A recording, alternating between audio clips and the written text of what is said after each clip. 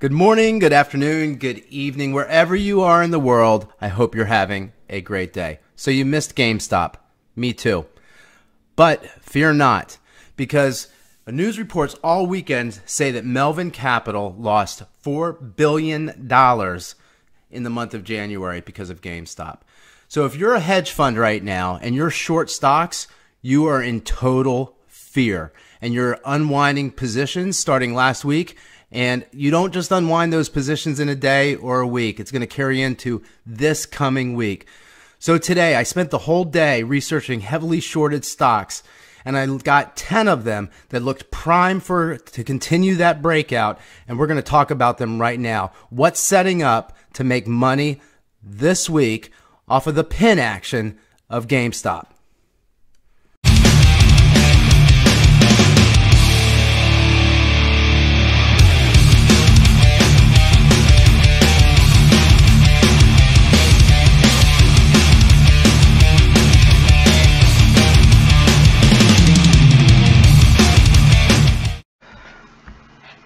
Okay, so let's review 10 stocks that I've found through research and today that are heavily shorted, and I'll review the short position of each of these.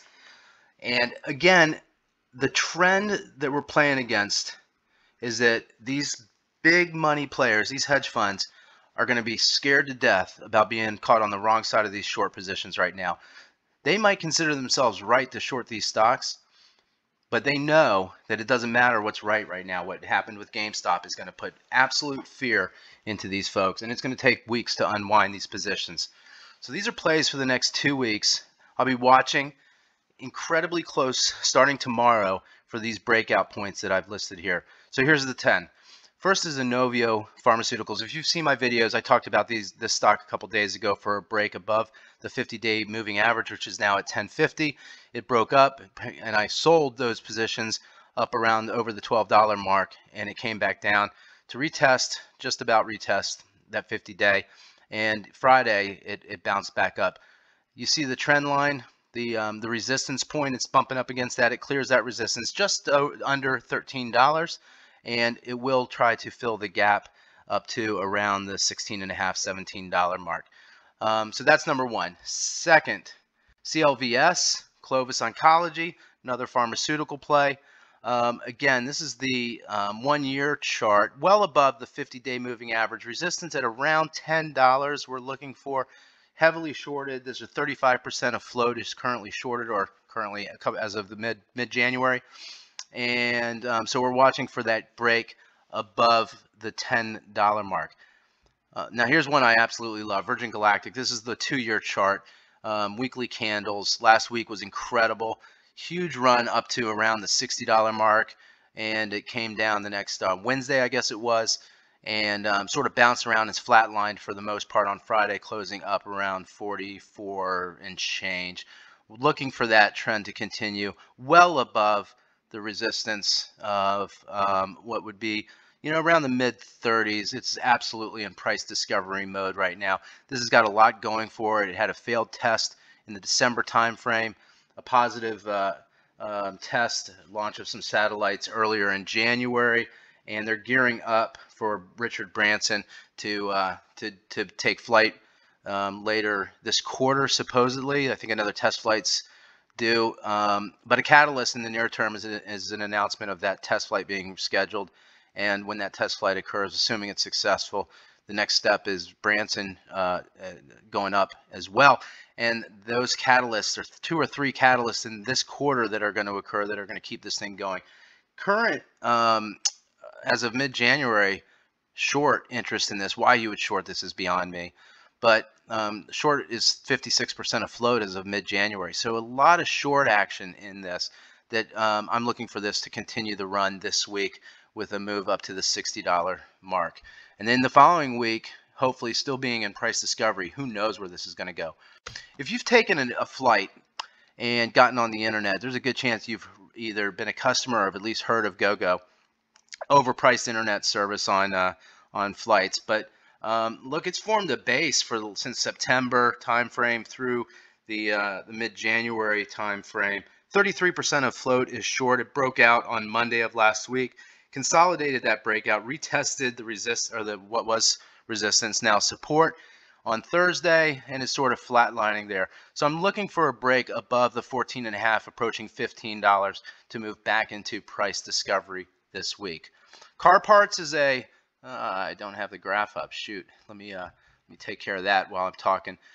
Car parts is a uh, um, secondhand uh, uh, seller of used car parts, uh, carparts.com. There's the three month. Let's take it to the six month. And um, you can see on again on Tuesday, this thing broke out of what was a good trading, good um, good base for the better part of six months, um, and broke out. There is a gap that formed as a result of that breakout between the 1362 mark and somewhere around the 1571. Um, it's consolidated those gains through the week. Whoops, looking for that to uh, to continue up. If it goes up past that $20 mark this week, um, yeah, that's going back into price discovery. And as you can see, um, is not afraid to make 50% gains in a matter of a week. So that's certainly one to, to watch as well. Um, and on car parts, 43% as of mid-January was uh, of the float was short. Um, Therapeutics, um, you can see again, this one uh, broke resistance on uh, Wednesday of this past week, shot up a good 25% from about 31 and 50 to well over $58 and consolidated on Thursday and Friday. Retested and closed close to that support level on Friday. Look for that to continue. Any break above 35 when we move back into price discovery. And so this thing can uh, continue to move. And 50%, 50% of the float is short in ESPR. GX, GSX, Chinese education company, um, heavily, heavily shorted. 27% um, of float is shorted. It had a huge move over the last couple weeks from uh, around the uh, let's say $50 mark to almost 150 hit the 150 on Wednesday of this past week and consolidated those gains We'll look for further consolidation um, in the first half of this week. But um, once some of that gets chewed out of the market and this gap gets filled down to maybe the early, the, the um, low 90s, we'd look for that to uh, continue that that uptrend as well. Uh, let's see, number eight on the list, Ontrak. Ontrak's an AI-powered virtual outpatient healthcare treatment uh, process it broke resistance on Tuesday of last week with a huge move up to about the $95 mark and consolidated those gains Thursday. Nice doji formed on Friday and we'll look for that to continue that uptrend. Breaking through that $95 mark puts this thing back in price discovery. And Ontrak has got a 38% of float is short as of mid-January. All right, the rocket companies. Who hasn't heard of this, guys? They've seen the commercials. Resistance was at around the $23 mark. It broke on that on Monday.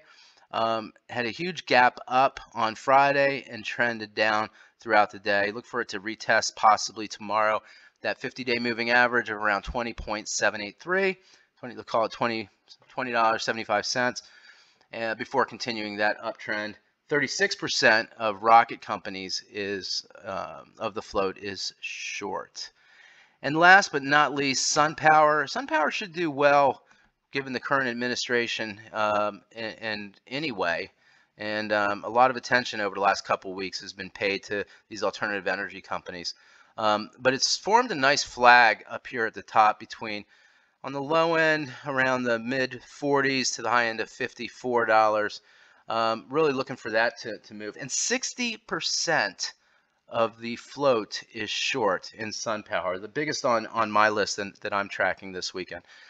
And so, um, look, if it moves over over 55 on volume uh, early this week, there's no telling where this is going. It's look, it's moved um, out of its base um, back at the beginning, well, the end of December, call it the 21st of December, reconsolidated to test that that breakout, and then it's been off to the races since January. It's gone from 24, call it 25 bucks to 55 bucks in a month. Yeah, look at that. To $55 in a month. and um, so huge move in the last month, and it does not look like that is is uh, is is going to stop. So that's the 10. That's the 10 that I'm watching. I know it's a short video, only 10 minutes, but um, I wanted to get this out for you uh, before the the start of tomorrow. I'm watching all of these 10 and we'll be moving into some of them hopefully earlier in the week. But I'll do it on volume and I'll do it on confirmation of the breakout. But I do believe, I do believe that with what happened at GameStop has brought absolute fear to big billionaire hedge funds. And uh, I mean, I put myself in their shoes. If I was short a stock right now, um, yeah, even if I I had absolute conviction in the validity of that of that trade, um, I'd still be very scared right now and um, you know risk uh, moving out of that that risk I think will be key and will be a trend that just can't it can't stop in just one week with GameStop. It's got to go through. I, I, think go through the market. I think the shows like C on CNBC are missing that. They're saying it's not going to contagion across the market. Um, but I don't see. I mean, I just think logic dictates otherwise. Now, what do I know? But um, I'd certainly, if I put myself in their shoes, I'd be I'd be getting unwinding those positions quickly, just out of fear that um, that that they're going to get hit with a GameStop like move. And that was a $4 billion mistake for the hedge fund we talked at the beginning of this video. So anyway, as a reminder, I am not a financial advisor. Do not trade uh, or, or do anything based upon solely because I said it. Um, I'm just a dude with a computer that likes talking about this stuff and thinks it's fun and it's a hobby. And I like to make money, of course, but uh, but don't do anything just because I said to, because I am certainly unqualified to manage your money. Um, but if you're entertained, you like what I'm talking about, and uh, you learn something along the way, maybe you make a couple bucks, that's awesome. Please uh, don't hesitate to subscribe to this channel and certainly like or comment as you as you feel uh, so inclined. So thank you very much for listening. I hope you have a great week. Good luck to you, and we'll talk to you again tomorrow. Thanks.